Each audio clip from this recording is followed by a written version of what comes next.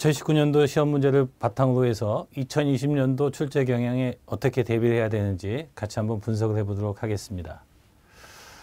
자, 건축구조 과목은 이제 크게 네 가지 파트로 나눠지는데, 자, 이 첫 번째 파트 1장이라고 되어 있는 곳이 이제 구조 역학이 되겠습니다.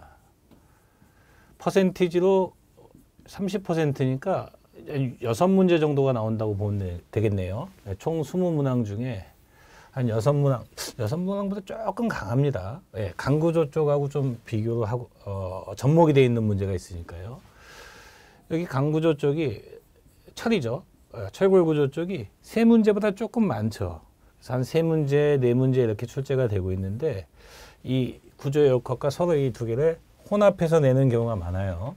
예를 들어서 이제 어, 좌굴하중이라든지 세장비 예, 그런 것들이 이제 중복이 되고 있다라고 보시면 되겠습니다. 자, 이 장이 이제 가장 많이 출제가 되는데 여기가 이제 흔히 RC 구조라고 하죠. reinforced concrete 구조라는 이제 철근 콘크리트 구조가 되겠는데 보통 한 일곱 문제 조금 안 되네요. 마찬가지로 여섯 개에서 일곱 문제 출제가 되니까 사실 이 세 개의 단원이 예, 건축 구조를 거의 지배하는 단원이다라고 보시면 되겠습니다. 그럼 이제 나머지 이제 건축 구조의 일반 사항이라든지 어떤 구조 시스템 구조 시스템이라든지 하중이라든지 환하중 쪽이요. 구조 시스템, 환하중. 그 다음에 이제 구조 시공에 대한 내용, 뭐 토진 및 기초, 그 다음에 내진 설계 이런 것들이 한 네 문제 정도가 출제가 되고 있다라고 볼 수가 있겠네요. 내진 설계는 이제 기사 시험에서 보통 한 문제나 두 문제가 나오고 나머지 구조 시스템과 하중 쪽 예, 이쪽에서 이제 한 문항씩 공통적으로 출제가 되고 있다고 보면 되겠습니다. 이렇게 분석을 해보니까 이렇게가 건축 구조의 이제 핵심적인 내용이죠. 예. 여기서 얼만큼 많이 득점을 하는지가 수험생 여러분들이 자, 필기시험에 합격에 유리한 겨, 어, 고지를 점령할 수 있겠다라고 볼 수가 있겠습니다. 자, 구조역학이 어, 작년도에 약간 좀 적게 출제가 되었다고 했죠. 여기 한 여섯 개가 나왔는데 강구조 쪽하고 이제 혼합이 돼서 한 여섯 개, 일곱 개 이렇게 보시면 틀림없다고 했어요. 여기서 보통 한 세개에서네 개 정도가 이제 출제가 되니까 어, 비율들은 거의 맞아 있다고 보면 되겠습니다. 최근 콘크리트 구조가 여섯 개에서 여기 출제 빈도가 다시 높아졌네요. 한 일곱 개 정도까지 이제 출제가 되고 있고 일반 구조도 상대적으로 자 네 개 정도로 약간 상승폭이 있다라고 보면 이 두 개를 혼합해서 내는 경우 때문에 얘, 가 약간 상승했다고 보시면 되겠습니다. 자, 세부 항목으로는 이제 부정정 차수, 지점 반력, 전단력과 휨 모멘트, 트러스 구조의 축방향력, 자, 단면 1차 모멘트, 2차 모멘트와 같은 단면의 성질, 자, 스트레스, 응력과 strain, 변형률, 단주 및 기초, 어, 장주, 짧은 기둥, 긴 기둥, 구조물의 변형, 이게 처짐이죠. 음, 처짐. 그 다음에 부정정 구조 이렇게 돼 있는데, 일단 시험에서 가장 많이 출제되는 것을 지금까지 출제됐던 문제를 추려 보니까 44개 항목으로 분류가 되더라고요. 그 44개의 제목 중에 20개 시험 문제가 거의 번갈아 가면서 나오는 형태인데 그 중에서 단연코 1순위가 이 처짐입니다. 처짐. 여기가 1순위고요. 그 다음으로 구조역학에서 많이 출제가 되는 게 이제 부정정 차수. 여긴 좀 간단하죠. 간단한 계산을 한번 해봐라. 라는 형태. 여기 두 개의 단어는 거의 매 회마다 나온다고 보시면 되겠습니다. 그 다음에 이제 지점 발력, 전단력과 힘 모멘트 이것도 거의 한 문제씩 거의 매 회마다 나오고 단주 및 장주, 특히 이제 단주보다 이 장주 쪽에서 좌구라중 세 장비 이런 것들이 출제가 되고 있다라고 보시면 되겠습니다. 이 이외에 나머지 내용들에 대해서 한두 문제씩 출제가 되고 있으니까 우선순위를 설정해 놓는 것도 하나의 좋은 학습 방법이라고 볼 수가 있겠습니다. 자, 최근 콘크리트 구조는 단연코 가장 많이 출제가 되는 것이 여기 휘매석이죠. 보의 휘매석. 여기가 내용이 굉장히 방대하고 까다롭습니다. 여기만 잘 해결한다면 전단 해석, 기둥 설계 이런 것들이 각각의 챕터에 대해서 두 가지 내용 중에 한 문제씩이 나온다고 보시면 돼요. 처진맥 균열도 마찬가지고요. 그러니까 공부를 해야 될 내용은 선별적으로 어떻게 단편적으로 출제되는 내용만 집중적으로 공부하면 되는데 각 파트별로 두 개 내지 세 개 정도의 내용을 잘 정리를 해보면 상대적으로 어디서 많이 출제가 되는지 알 수가 있겠고 최근에는 이 기초 및 벽체가 잘 출제가 되고 있지 않다는 내용을 확인해 볼 수가 있겠습니다. 자, 강구조 쪽에서는 가장 중요한 게 이제 접합이죠.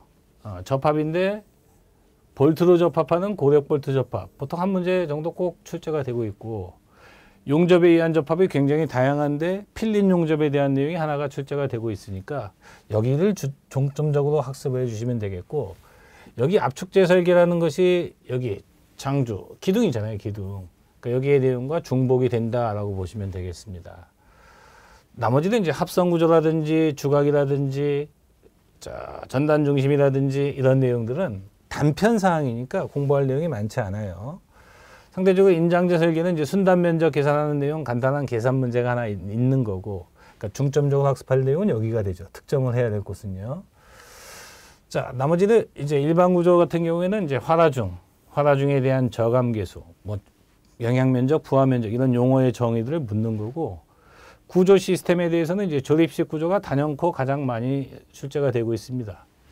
구조 부재를 조립하다 보니까 공장에서 대량 생산할 수 있지만 규격화 이런 것들이 변, 규격이 변경시키기는 어렵다는 것.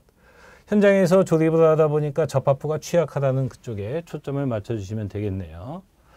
부등치마 및 연약 집안에 대한 대책 같은 제목으로 보시고 여기가 가장 많이 출제가 되는 내용입니다. 말뚝 간격까지 같이요. 그러니까 여기서 보통 한 문제가 나오고 내진 설계에서 한 문제에서 두 문제 정도 어, 건축 구조 기준에 대한 기준을 묻는 내용이고 나머지 조립식 구조나 화라 중에 한 문제, 한 문제, 두 문제 뭐 이 정도로 생각을 해 주셔서 전체 스무 문항이 되, 되겠는데 자 가장 효과적인 방법은 반씩 맞는 거죠. 예, 세 개씩. 여기도 세 개. 여기 한 두 개. 여기 두 개. 이렇게 맞으면 딱 열개예요 10개. 진짜 반이네요. 예, 10개. 각 단원별로 어, 골고루 맞으면 10개가 되겠는데 최악의 상황이 8개잖아요. 예. 그러니까 8개까지는 괜찮은데 8개 미만이면 안 되니까 내가 어느 단원에서 득점을 해야 될지를 잘 생각을 해봐야 되는데 그렇게 생각하다 보면 오히려 머리만 아프고 공부하는 방법이 더 혼동이 될 수 있으니까 이 구조역학에 초점을 맞춰서 이게 복잡한 계산이 아니거든요. 어떤 정의 체계를 묻는 거니까 이 역학의 내용을 공부한 다음에 최근 콘크리트 구조를 공부하고 역학을 공부한 다음에 철에다가 접목을 해보고 이게 건축 구조의 기본적인 흐름이라고 보시면 되겠습니다. 자, 간단하게 이제 건축 구조를 학습하는 방법을 한번 소개해 드려 보니까 대부분의 예, 공학 전공이든 아니든 전공을 했든 안 했든 수험생들이 이 건축 구조 과목을 굉장히 어려워합니다. 그 이유를 곰곰이 생각을 해 보니까 이게 영문의 의미를 알아야 돼요. 거기다가 영, 영어의 알파벳이 한 개가 있으니까 대소문자가요. 예. 그리스 문자까지도 채택하고 있습니다. 뭐 이런 거예요. 알파, 베타, 람다, 감마 뭐 이런 것들이요. 예. 그런 기호들이 우리말로 어떻게 표현이 되는지 용어의 정의에 대한 초점을 먼저 꼭 생각을 해 주셔야 되는데 수험생들이 오해하는 게 건축 구조는 공식이라 이렇게 생각하면 이 공부하는 방법을 찾아가기 굉장히 어렵습니다. 그러니까 어떤 특정의 지표들이 왜 그런 용어들을 사용하고 있는지를 반드시 아셔야 돼요. 그런 말들을 왜 쓰고 있냐는 거예요. 네, 시험에서 물어보는 건. 거기에 숫자를 집어넣으면 대입하면 그냥 계산기 누르면 되는 형태고 그 용어들이 우리말로 표현했을 때 어떠한 특징과 장단점이 있는지를 잘 생각을 해 주시면 이 건축 구조 과목이 여러분들의 에, 걸림돌이 아니라 합격을 위한 디딤돌, 추춧돌이 될 수 있는 순간이 분명히 올 겁니다. 그럼 같은 그 학습의 효과를 놓고 봤을 때 다른 과목에 비해서 상대적으로 고득점이 될 수 있는 부분도 분명히 있는데 이게 사람마다 수험생마다 이 성향이 다르니까 뭐라고 단언할 수는 없다는 얘기입니다. 그래서 어쨌든 고득점을 할 수 있도록 노력을 해 주셔야 되겠고 참고로 이 필기 시험을 준비하면 결국 실기 시험까지 합격을 해야 자격증이 취득이 되는 거니까 필기 시험은 객관식입니다. 실기 시험은 주관식이죠. 막말로 앞에서 열 문제만 득점을 해도 충분히 공부를 음, 시험을 합격하는데 문제가 안 되는데 나중에 주관식 시험에 이 필기 시험 때 문제를 그대로 물어보거든요. 근데 여기는 보기 지문 안에 답이 없으니까 내가 뭘 쓰고 계산기에 누른 다음에 숫자를 내서 단위 변환까지 단위까지도 맞춰야 되는 내용이니까 오해하지 마시고요. 이쪽이 난이도가 굉장히 높고 이쪽이 난이도가 굉장히 낮아요. 그 이유는 여기 주관식이기 때문에 그래요. 그렇다면 여기서 공부를 열심히 하게 되면 실기시험 때또 따로 공, 어, 또 다시 공부할 필요는 없고 여기 공부한 내용이 그냥 주관식으로 그대로 나오는 거구나 이렇게 생각하면 시험 준비에 훨씬 효율적으로 이 구조 과목을 공부할 수 있겠습니다. 자, 보통 이제 이건 앞에서 이야기했죠.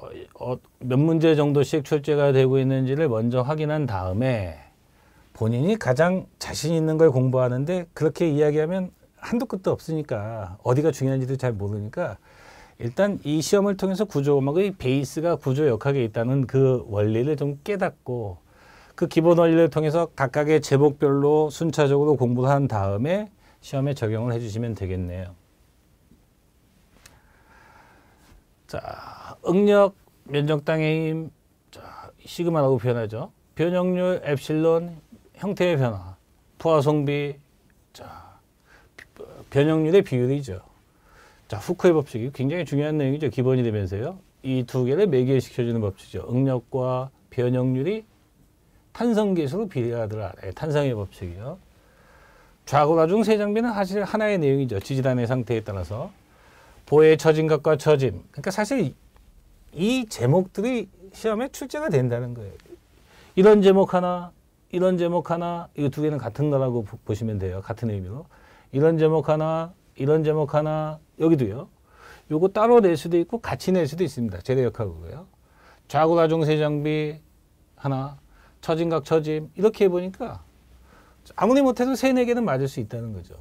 제가 여섯 개에서 일곱 개가 출제가 되고 있는데 반만 득점을 하라 그러면 정말 이 과목이 싫다라고 하시는 분들은 이 제목에 대한 내용과 이 제목에 대한 내용과 이 제목에 대한 내용들만 공부하셔도 이 구조 과목은 벌써 반이 득점이 된 거예요. 최악의 상황에서. 그런데 이제 이런 거죠. 수무문항을 시험을 보는데 내가 지금 득점 가능한 게 네개라고 보죠. 그럼 최악이 여덟 개니까 네 개가 모자라지 않습니까? 네 개가 그럼 내가 아는 것만 체크를 한 다음에 사지선다형 시험이 이런 형태죠. 1, 2, 3, 4번. 그럼 내가 아는 걸 체크해 보니까 어, 이쪽에 답들이 있더라는 거예요. 이쪽이나 이쪽에 있더라는 거야. 그럼 이제 나머지 문제 모르는 거 17개나 6개를 한 번으로 찍기만 해도 확률이 그렇게 무심하지는 않으니까 대부분 뭐 어느 한 번호를 이렇게 딱 체크를 해 주셔서 여기로 몽땅 몰아 주시면 여기는 내가 이미 맞았다고 보는 거고 이 답안이 체크되지 않은 한 번호를 지정해서 쭉 체크해도 여덟 개를 넘는 경우도 있습니다. 이건 하나의 편법이죠, 편법. 근데 이거는 뭐 여러분들 이 강좌를 들으면서 공부할 이유는 없는 거죠. 이렇게 이런 편법은요. 어쨌든 이런 최악의 방법도 최선이 될 수가 있다는 것을 한번 소개를 해드린다라고 보시면 되겠습니다. 자, 제가 앞에서 이야기했죠? 각 주요 내용별로 순서별로 44개의 내용. 그러니까 제목이 있다는 거예요. 제가 지금 이런 제목. 처짐을 계산해라. 그림을 그려주죠. 처짐각을 계산해라. 아, 이런 게 가장 많이 나옵니다. 부정정 차수를 그림을 주고 보 라멘 트러스에 대해서 간단히 계산해 봐라. 이런 제목은 반드시 나온다는 겁니다. 그 다음에 균열 모멘트를 최근 콘크리트에 대해서 한번 구할 수 있는지 예, 모멘트의 힘 곱하기 거리 예, 이런 것들을 구할 수 있는지 이런 제목들이 언제나 나온다는 겁니다. 그 다음에 좌굴하중 음, 좌굴과 부재의 가늘고 긴 세장하다고 그러죠. 가늘고 긴 비율들 이런 것들 계산하는 내용들은 시험에 언제나 출제되는 내용이 되겠습니다. 여기에 특별한 공식 없이 구조 시스템 앞에서 조립식 구조 이런 얘기 했잖아요. 예, 구조 시스템이라든지 강구조의 접합 쪽 예, 이런 것들이 특별히 공식이 없이 그냥 바로 득점을 할 수 있는 단원이라고 보시면 되겠네요. 여기에 몇 가지 어, 대부분 이제 이해 능력이 내가 약간 좀 모자른 것 같다 떨어지는 것 같다 그러면 암기 능력은 있겠죠. 어, 내진 설계에 대한 규정들 정도 이렇게만 해도 지금 충분히 득점이 이제 가능한 내용들이 그렇게 많은 공부를 하지 않고도 효과적으로 득점이 가능하다는 내용이 되겠네요. 뭐 여기에 뭐 어, 연약 집안이라든지요. 연약 집안에서는 어떤 말대고를 써야 됩니까? 어, 연약 집안에서 한쪽이 가라앉으면 어떻게 되는 거죠? 부등치마 뭐 이런 것들요. 그러니까 이런 제목만 잘 봐도 시험에 거의 매 회마다 나오는 제목들이거든요. 이게 지금 이것만 공부해도 여덟 개네요. 그러니까 이런 것들은 득점이 돼 있다라고 보시고 나머지들을 자 순차적으로 공부해 나가시는 것이 훨씬 유리하겠습니다. 그래서 제가 지금 말씀드린 게 이제 집중 공략이라는 겁니다. 집중 공략. 44개의 내용 중에 제목 중에서도 한 10개 정도만 잘 공략을 해도 어, 시험에 득점하는 데는 큰 어려움이 없다 이런 얘기입니다. 문제는 어떤 내용이냐면 실제 시험장에서 음, 계산 문제가 평이한 형태의 계산 문제가 나오는 게 아니고 뭐 강구조의 가장 어려운 내용과 구조역학이 혼합된 문제, 예. 예, 혼합된 문제. 가령 뭐 이런 형태를 시험 문제 낸다는 거죠. 그림 하나를 떡 그려주는 거예요. 단순보를요. 여기에 자 자중 등분포 화중을 딱 그림을 준 다음에 갑자기 느닷없이 이 보가 H 형광 뭐 예를 들어서 무작위로 이런 형광을 썼대요. 어, 이런 형광을 썼다. 그래놓고 갑자기 이제 이걸 물어봅니다. 어. 전다 능력을 한번 구해봐라. 뭐 이런 형태로 시험 문제네요. 예. 그럼 지금 I와 B는 이 H 형광 쪽에서 찾아내야 되는 거고 이 V, V는 이제 이 그림의 형태에서 찾아내는 거고 이 Q라는 것도 이 H 형광에서 요, 요 세 개는 단면의 재원들이니까 H 형광에서 찾아내고 V는 여기서 찾아내라는 거예요. 이런 형태로 시험 문제 내는 건 이중 삼중으로 복잡하게 얽혀 있기 때문에 득점하기가 굉장히 어렵다는 겁니다. 그럼 건축 구조가 전부 다 이런 문제만 있냐? 예, 그렇지 않다는 거예요. 간단하게 이제 난이도라는 걸 한번 생각을 해보죠. 난이도가 상, 중, 한데요. 20문항 중에, 20문항 중에 난이도가 어려운 것만 있냐? 예, 그렇지 않다는 거예요. 보통 그냥 객관적으로 봤을 때 수험생들이 어렵게 느끼는 문제가 한 다섯 개 정도가 돼요. 손을 못 대겠다. 뭐 이런 것들. 예. 공부를 어느 정도 해도. 그런데 그냥 공부 안 하고도 대충 용어로 몇 개 출제하는 것도 한 다섯 개 정도 돼요.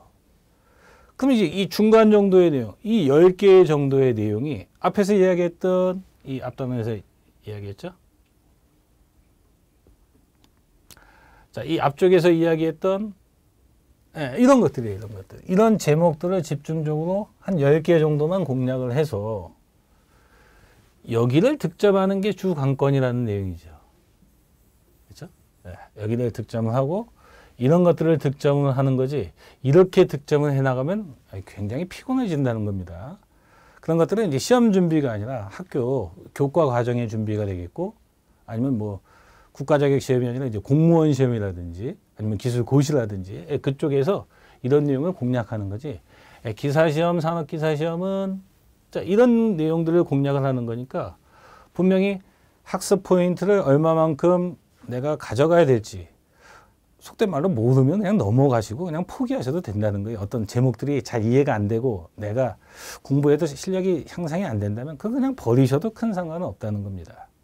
아무튼 효과적으로 학습을 해 주시기를 당부를 드리겠고 자 인터넷 강좌 동영상 강좌에서 이제 저하고 건축 구조의 이제 처음 기초 역학적인 부분부터 일반 구조까지 순차적으로 제목별로 어떤 내용들이 다루어지고 있는지 차후에 같이 학습을 해 보도록 하겠습니다.